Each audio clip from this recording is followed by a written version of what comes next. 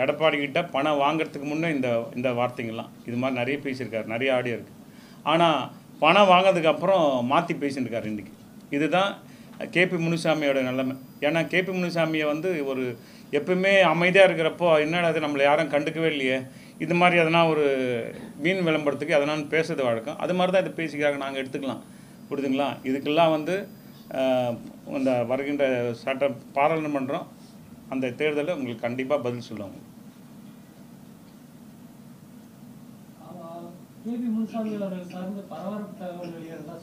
ஆமாம் தகவலா? இருக்கு.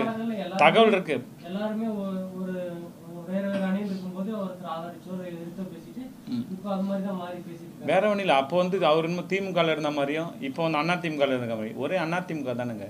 அண்ணா திமுக இரு அணி. நடுப்புற ஒ- ஒன்றா சேர்றப்போ பேசலையே அதுவும். அதில் நிறைய பேசியிருக்காரு. இல்லை அவர் பேசுனதை சொல்கிறேன் அவர் வந்து நிமிஷத்துக்கு நிமிஷத்துக்கு நிறம் மாறுற ஆள். இடத்துக்கு ஏற்ற மாதிரி எங்கே பசம் இருக்கோ அங்கே போயிட்டே இருப்பார் அவர். அவ்வளோதான் அவரை வந்து நாங்கள் பெருசாக எடுத்துக்கூடாதுன்னு தான் சொல்கிறேன் எனக்கு வ வ- இப்போ அந்த ஆடியோ ரிலீஸ் பண்ணக்கூடாதுன்னு அந்த ஃபோனுக்காக தான் நான் வந்து அதை அதுலேருந்து நான் ஆஃப் ஆயிட்டேன் நான். இல்லைன்னா அந்த தகவல் உங்களுக்கு சொல்கிறது தான் கூப்பிட்டேன் நான். எனக்கு மேலேருந்து வந்த உத்தரவுக்காக அந்த ஆடியோ நான் ரிலீஸ் பண்ணல. இருக்குது டைம் இருக்குது எலெக்ஷனுக்குள்ளே பார்த்துருவோம் இது இதே நிலை தொடரணும் நான் எட எலெக்ஷனுக்குள்ளே அமைச்சனாக்கா எடப்பாடியே கேபி முனுசாமி வச்சிருக்க மாட்டார். அதுக்காக தான் அதான் ஒரு காரணம் எல்லாத்துக்கும் ஒரு காரணம் இருக்கும் இல்லையா? அரசியல் தேவைக்கு இல்லைங்க. அரசியல் அரசியல் தேவைக்காக தான் நேற்றுக்கு எடப்பாடி கிட்டல இருந்திருப்போம். நாங்கள் தொண்டர்களை மதித்து எங்கள் ஓபிஎஸ் தலைமையில் ஏன் பின்னாடி நிற்கிறோம் எந்த எந்த லாபமும் எந்த அரசியலும் இது இதுவும் இல்லாமல் ஐயா கூட இருக்கோம் நாங்கள் துணையாக வெளியிடுவோம் வெயிட் பண்ணோம் எல்லாத்துக்கும். இவங்கள மாதிரி அவசரப்பட்டு எல்லாத்தையும் இப்போ போட்டு ஆஹ், நந்தவனத்தில் ஒரு ஆண்டி மாதிரி இப்போ போட்டு உடச்சாங்களா அது மாதிரிலாம் உடச்சிருக்க முடியாது. பொறுத்திருந்து பாருங்கள் அதிமுகவில் இரண்டாம் கட்ட தலைவர் எத்தனையோ பேர் இருக்கப்போ குறிப்பிட்டு அவரை மட்டும் குற்றம் சாட்டுறதுல என்ன? அவர் மட்டும் தானங்க பேசுகிறாரு ஒரு அதிமுக வந்து ஒன்றுபட்ட அன்னைக்கு கூட ப்ரெஸ் மீட்டில் சொல்கிறார் எல்லாம் ஒன்றா சேர்ந்து தான் ஐயான்னு சொல்லி திருப்பி அதான் சொன்னார் அன்னைக்கு கூட. நீங்கள் கட்சிக்குள்ளே ஒருத்தருக்கு ஒருத்தர் எதுவும் சொல்லிக்க கூடாதுன்னு தான் எங்களுக்கு எங்கள் வளர்ப்பு அந்த மாதிரி? எங்கள் ஐயாவோட வளர்ப்பு. உங்கள் வளர்ப்பு எதை பற்றியும் கவலை பண்ணக்கூடாது. உங்களுக்கு ஒன்றும் ஒன்லி பணம் தான். பணத்துக்காக என்ன வேணாலும் பேசும் அதுதான் இந்த கே கேபி முனுசாமியோட கேரக்டர் உங்களுக்கு நிறைய பேர் அந்த கட்சியில் ஏன் குறிப்பிட்டு கேபி முனுசாமி அவர்கள்? கேபி முனுசாமி தானுங்க பேசுகிறாரு எனக்கு எதிராக இல்லை. மற்றவங்க பேசுகிறப்ப நம்ம அண்ணன் புகழேந்தி அண்ணன்ல நம்ம மருதண்ணெல்லாம் பேசுகிறாங்களே யார் யாரெல்லாம் இவருக்கு ஏன்னா எனக்கு பல இது பல இது இது பண்ணியிருக்காரு. நிறைய ஏமாற்றம் எனக்கு இருக்குது பட் அதனால் நான் சொல்கிறேன் எனக்கு அவரை பற்றி எல்லா விஷயம் எனக்கு தெரியும். அதனால தான் அவர் பேசுகிறப்ப நான் வரேன் நான் வாலண்டரி நிறைய. நீங்கள் ஈடி ரைடு ஈடி ரைடுன்னு அவர் வீட்டுலேயும் அவன் மருமகன் வீட்லேயும் போனாக்கா நிறைய எடுக்கலாம். அவர் ஹாஸ்பிட்டல் வச்சுருக்காரு அவங்க மருமகன். இவர் ஒன்றும் தெரியாத மாதிரி இந்த பழைய இனோவா காரில் போயிட்டு வந்துருக்காரு அவர் அடுத்தது அவர் வீட்டுக்கு தான் இடி ரைடு போகணுன்ற நான் ஏன்னா பல பேரை ஏமாற்றி எவ்வளோ பணம் சம்பாரிச்சு வச்சுருக்காரு. அவர் தான் நீங்கள் ரைடு விடணும் அடுத்தது. அதை தான் நாங்கள் எதிர்பார்க்கோம் ஒரு கட்சியை வந்து கெடுக்கிறதுக்கு தான் நீ இருக்க. கட்சியை ஒன்று சேர்க்கறதுக்கு நீ இல்லாமல் கட்சியை கெடுக்கிற உள்ள பூந்து ஏன் இவ்வளோ நாளாக பேசாமல் இந்த கட்சியில் எலெக்ஷன் வர நேரத்தில் உள்ளே பூந்து எல்லாத்தையும் குழப்பம் பண்ணிட்டு இருக்க? மீதி பேர்லாம் பேசலை அமைதியாக இருக்காங்களே? ஏன் பேசாமல் இருக்காங்க? அதுதான் விஷயமே. நீ வந்து யாரும் ஒன்றா சேரக்கூடாது. எதுவும் அந்த கட்சி வந்து ஜெயிக்கக்கூடாது. அந்த வேலையை பார்க்கறதுக்கு தான் திமுகவோட பி டீமை கேபி முனுசாமி செயல்படுறாரு. இது நான் பகிரங்கமாக சொல்கிறேன் நான் ஆடியோ வெளியிட வேணாம்னு சொன்னது எந்த அதை நான் சொல்ல முடியாதுல்ல. நான் அடுத்தது நானே கூப்பிட்டு உங்களுக்கு சொல்லிடுறேன்.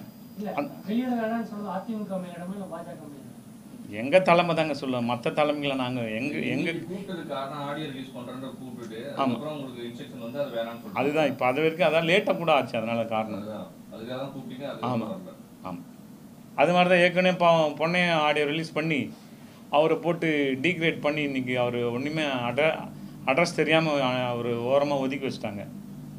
அதுக்கு நம்ம அதிமுகவுக்கு வீக்னஸ் தானே? அதுக்காக தான் இது இது அந்த நலன் கருதி தான் விட்டு கட்சிங்க கட்சிங்க இது ஒரு தனிப்பட்ட மனுஷனுக்காக இந்த கட்சி கிடையாது.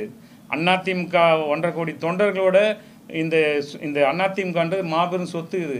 இந்த சொத்தை பாதுகாக்க வேண்டியது எல்லாருக்கும் ஒரு ஒரு தொண்டன் எல்லாருக்கும் ஒரு இதோட பங்கு இருக்குது நீங்கள் உங்கள் சுயநலத்துக்காக நீங்கள் இப்போ பண்ணிட்டு போயிடுவீங்க. அதுக்கெல்லாம் நாங்கள் தொண்டர்களை மாட்டி முடிக்கணுமா? அப்புறம் சொல்லுங்கள் எங்க இப்போ கூட அதிமுக இல்லை அதுதாங்க. ஆடியோ ரிலீஸ் பண்ண தான் கூப்பிட்டோம். இப்போ அந்த காரணத்துக்காக தான் ரிலீஸ் பண்ணலைன்னு சொல்கிறேன் நான். மிரட்டல்லாம் எனக்கு.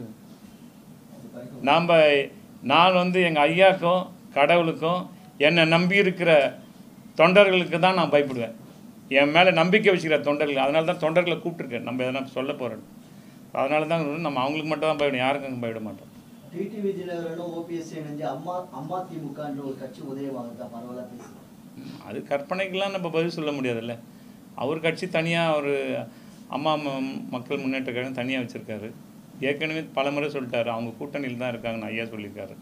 இதெல்லாம் நம்மளுக்கு ஆப்போசிட்டாக செயல்படுறாங்க இந்த மாதிரி வரதெல்லாம் பரப்பி விடுறாங்க. அதுக்கெல்லாம் நம்ம பதில் சொல்ல முடியாது. சார் இப்போ அதிமுக வந்து எடப்பாடி பழனிசாமி எதிர்த்து இப்போ வரக்கூடிய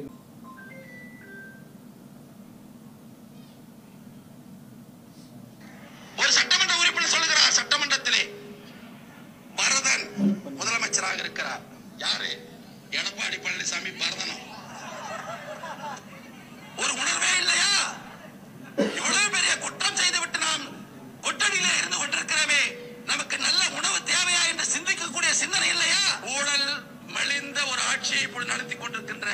எடப்பாடி பழனிசாமி அவர்கள் கணக்குப்படி பரதன் மக்கள் செல்வாக்கிழந்த முதலமைச்சராக இருக்கிறார் எடப்பாடி பழனிசாமி உடனுக்குடன் செய்திகளை அறிந்து கொள்ள ஐஎஃப் தமிழ் பெல் ஐக்கனை கிளிக் செய்யுங்கள்.